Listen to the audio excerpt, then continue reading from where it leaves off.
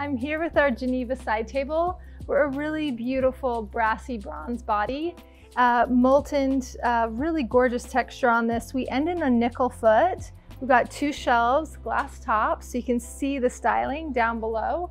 The thing I love about Geneva is it's got this really deep depth, so it looks really good right next to a sofa in this dimension, or you can put it between two chairs, but you have a lot, a lot of surface space to be able to put a drink down, to put a book down, to still have some styling there. So really generous size, even though it's got a smaller facade in the front. Um, this is Geneva side table, and we love this so much. It's part of our J. Bennett collection.